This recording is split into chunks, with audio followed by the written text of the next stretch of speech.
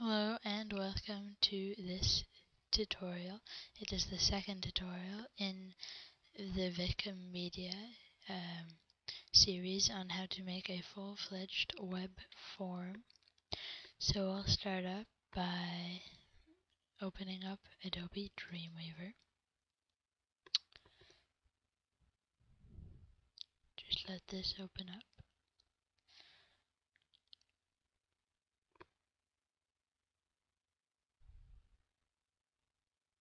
Now we'll open up what we made last tutorial, the form, nice and simple.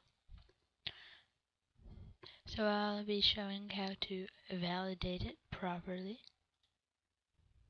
I'll just delete this, do not worry about that. Okay, so there are two types of validation.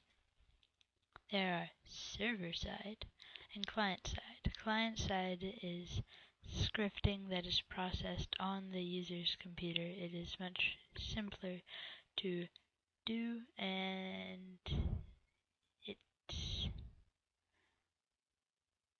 it's all that we need for this, but server side is much more powerful. So I won't be going into server side, but if you are doing more advanced forms, you may want to look into it in the future but uh, we're we're gonna be doing client side, so it won't be too hard. It should be easy to understand.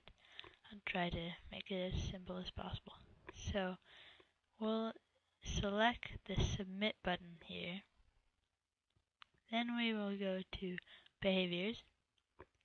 Over here in the tag inspector, click that. It will by default be on attributes and we'll click behaviors. Then click this little plus sign and from the menu that pops up, we'll choose validate form. Make sure that you've selected the submit button. Now, for this form, uh, for the for this tutorial, we'll require the name field, the email field, and the text area field, which is called question. Now, for email field, we don't just want it to be anything. We want it to be specifically an email address. So we'll click that. You can also tell it to validate numbers, which is useful for phone numbers, and also number ranges, which can be useful for certain circumstances. We don't need that for this tutorial. So now we're done validating. Let's check it out.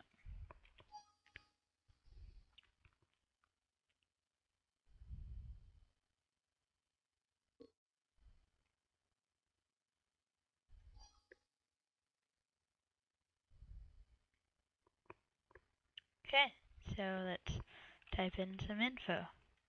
Uh, actually, let's just see what happens when we don't.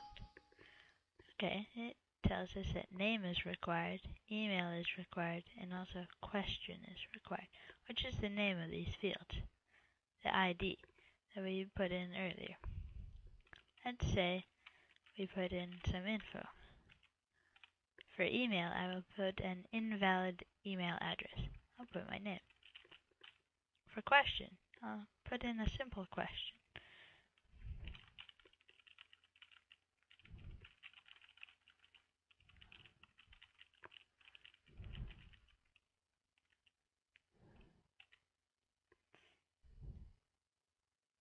Okay, let's click submit. See, it tells you that email must contain an email address. The user can then go and just say to themselves, oh, I forgot to put in the rest of the email address.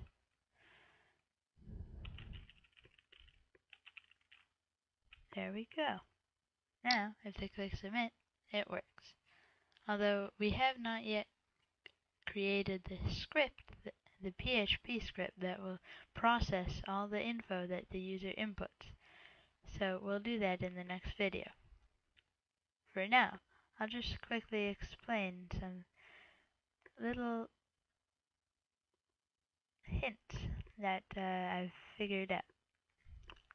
It will most likely uh, save you some trouble and worrying.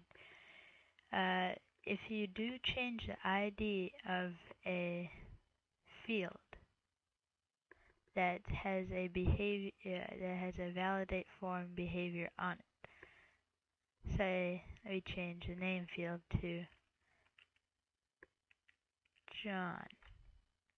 We go to here uh, and well we have to go to edit and change the name of the field and recheck what we want to validate. As if you do not the validation will no longer work for this um, field. May uh, save you some time. Now that I changed it back I have to go edit again. There we go. So that's a little hint. Uh, that's all for this tutorial. And uh, hopefully you liked it and it helped you. Um, validation is something you have to do. It's not optional. Saves you uh, possible uh, virus attacks. Uh, it it's really good, but also it, it stops you from reading junk entries and just save some time. It's really easy to do. So, thank you. And hopefully you subscribe. I just watch the next video.